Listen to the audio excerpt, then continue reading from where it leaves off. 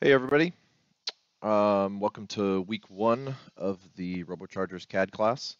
I have broken the CAD segment this week up into two parts. This first part, we're going to go over making an account, um, getting some of the uh, plugins and feature scripts loaded, um, getting you guys into the RoboChargers workspace. Um, and then part two, we'll, we'll go into kind of some more of the CAD topics um, once the account and everything is made.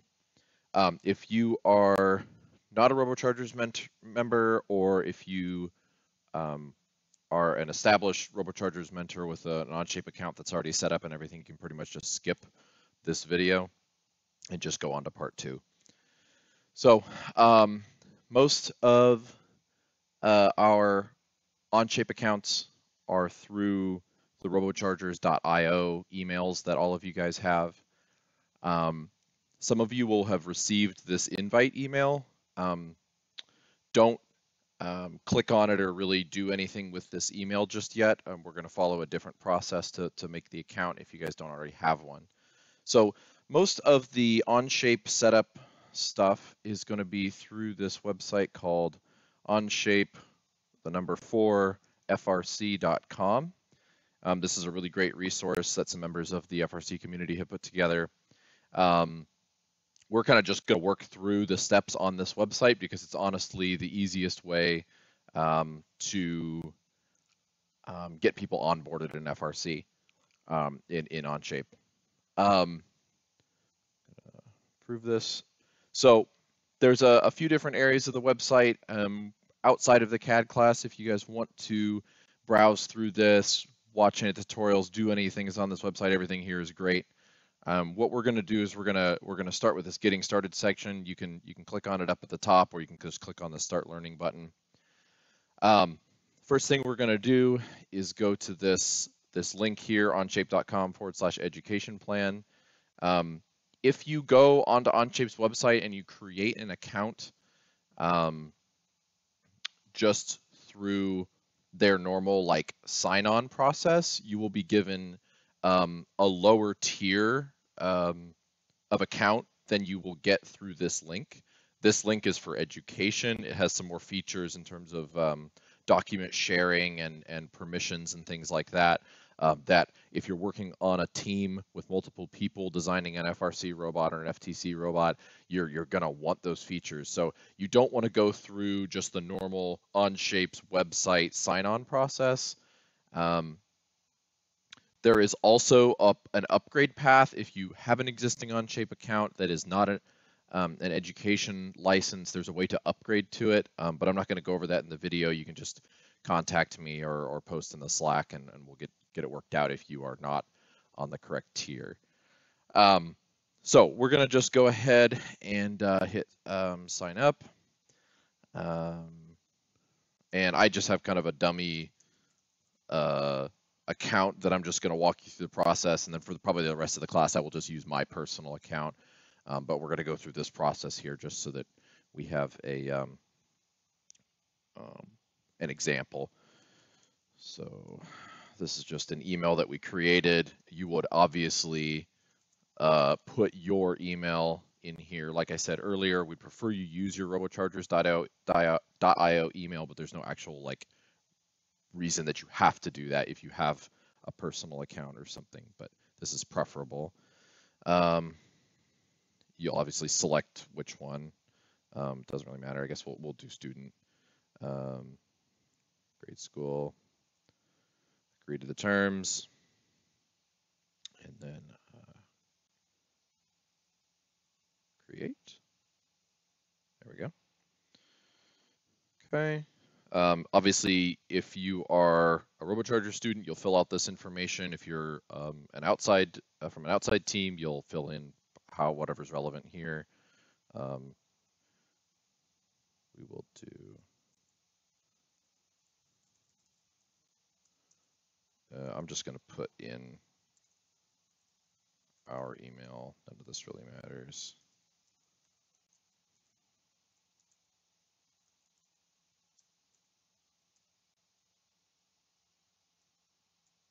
Okay, I'm just I was just typing in United States graduation year, just whatever, it doesn't matter. They just use this for tracking.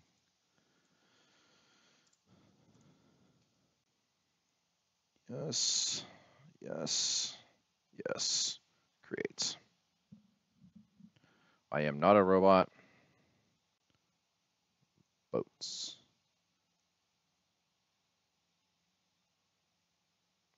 Okay.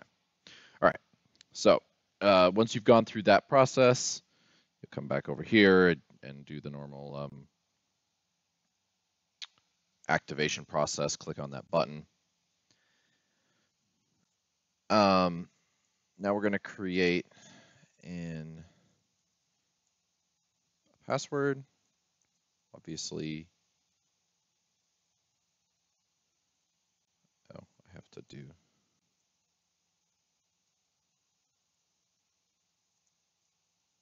some characters here. Do something secure. Okay. All right. Um, this is somewhat important. Um, the defaults should be fine. Um, there's some some other options here um, that we'll go over in a second. So everything here is fine. I always turn the decimal places up though. It's really annoying having a low number of decimal places. So this is just personal preference. You can change this stuff later. Um, um, if you are familiar with CAD, you may have preferences here. We're going to go over these controls in part two. I'm just going to leave it as Onshape default, but if you're coming from other CAD or something, you can change these and then you can always change these in the options later. Not going to change anything here. And then basically what it's doing here is because Onshape is relatively graphics intensive, it's going to kind of optimize some of your settings and things here. So we are done. Okay, so let's let's go back to our email real quick here. Um, if if you're a RoboCharger student or other team member, if I sent you this invitation, um, you should over here on the left side of the screen under Teams, should be able to expand the little arrow and you should see RoboChargers. Um, obviously, if you are not a RoboChargers member and um, you're watching this video, this will be something different. Um, you can go through the process about creating a team and inviting all of your team members and getting that all set up. That's all on this Onshape for FRC website. You can kind of follow through um, some of those steps there, and you will get a similar um, team list over here that shows up. But uh, for RoboChargers people, this is the area where we work on all of our CAD that's team related. So FRC, FTC, everything is in here.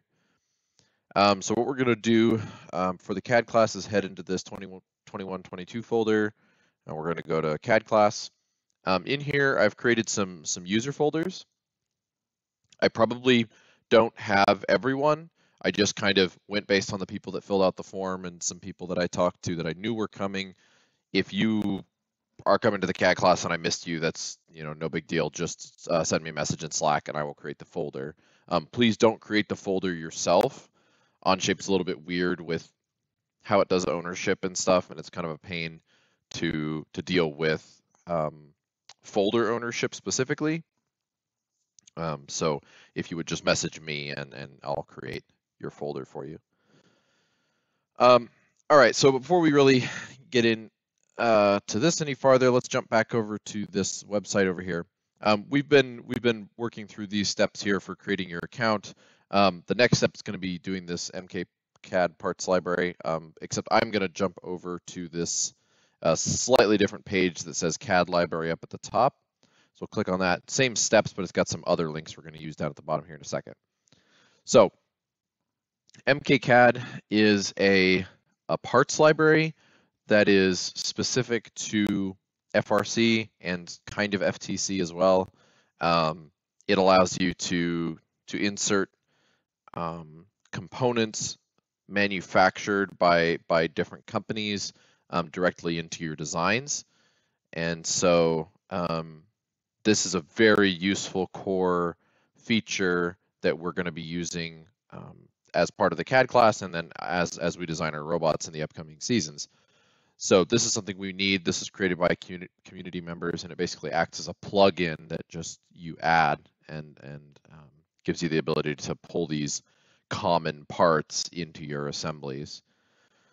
So um, all you have to do is click on this Onshape App Store link, go over here, click subscribe. Um, it, it's subscribe because it, it has updates and things that kind of stream to you automatically because it's all web-based. Um, subscribe basically just means add it to your Onshape account. Um, it's free, so you just click get for free. You get this little pop-up, you can just close, and that's all you need to do.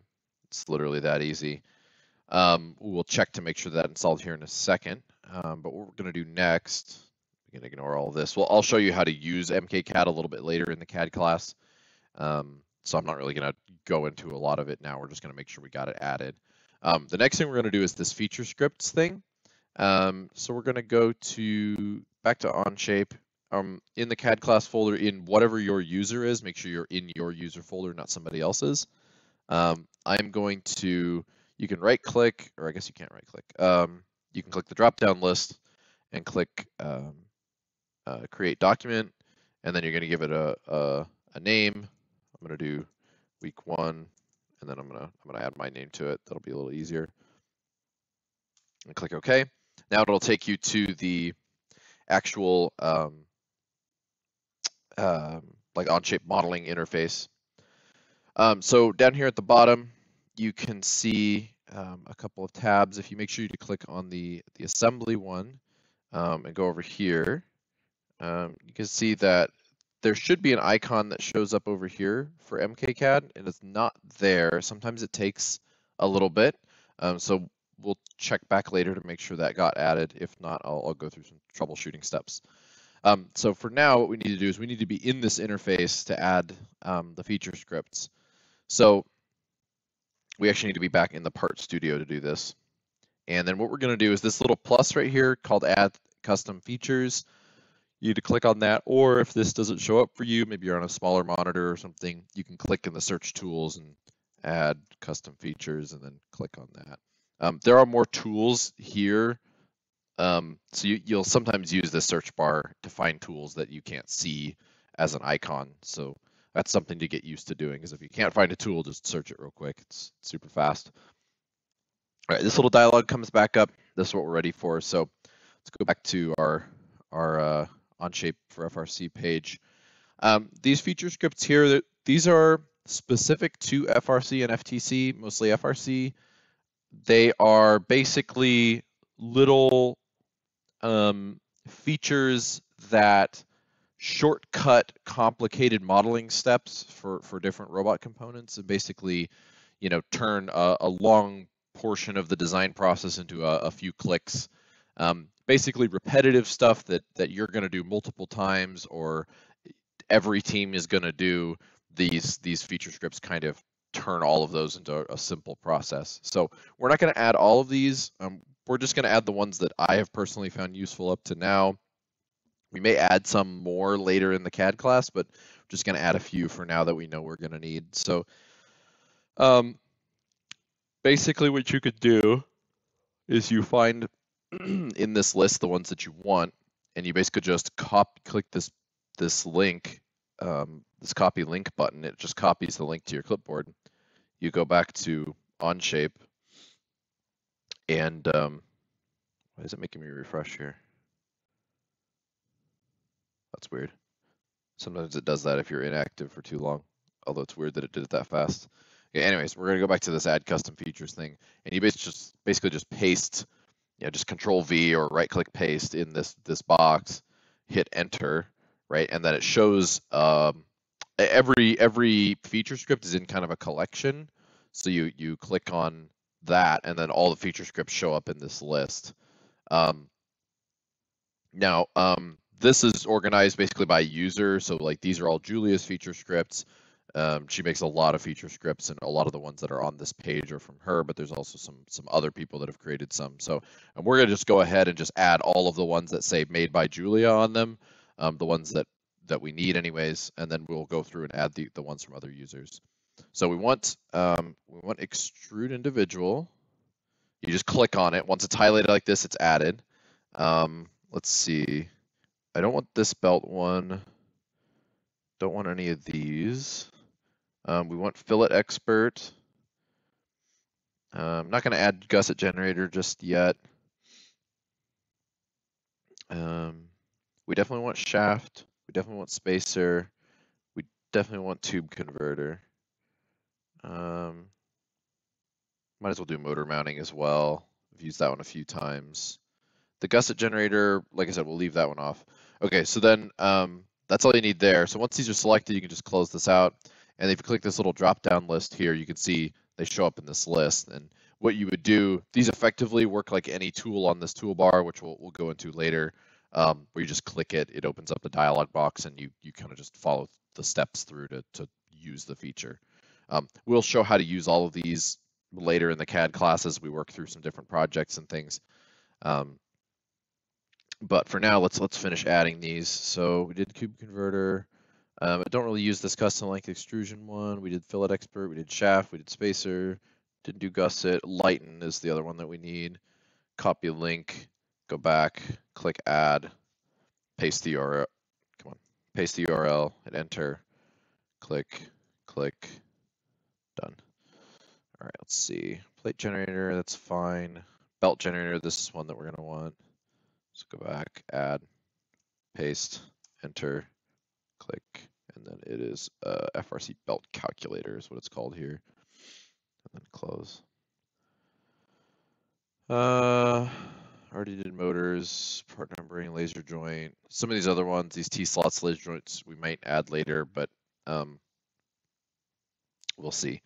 Okay, so that's all we need for feature scripts for now. Now, if we go back to, ooh, okay, cool. Um, if we go back to the assembly here, you can see this MKCAD icon has popped up. Like I said, it, it just takes a minute sometimes. So um, yeah, as long as this shows up, you know that your subscription to MKCAD has has um, been successful.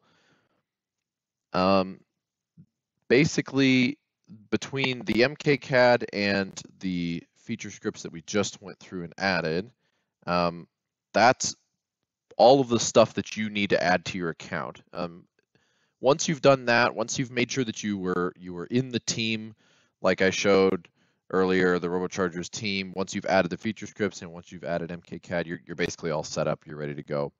Um, I mentioned earlier, something I, I forgot to mention earlier, is if you look down here on this main Onshape screen, you see this like subscription education. Um, I can't remember what the what the like base tier is uh, if, if it's like hobbyist or if it's if it's like subscription free i can't remember what it's called but there's one tier below education that doesn't have some features that you might need working in a team. So if if this does not say subscription education let me know. Um, you if you that's usually happens if you make your account not through the the education link on onshape's website so just make sure that this says that and you followed through all the steps to add all the, the custom features that we talked about, and then you will be you will be good to go. Um, in part two, we're going to talk about uh, some more um, specific um, CAD tools, kind of go over the interface and how to how to rotate the model around and view it in 3D and things like that. Um, and then that will finish us off for this week. So I will see you in part two.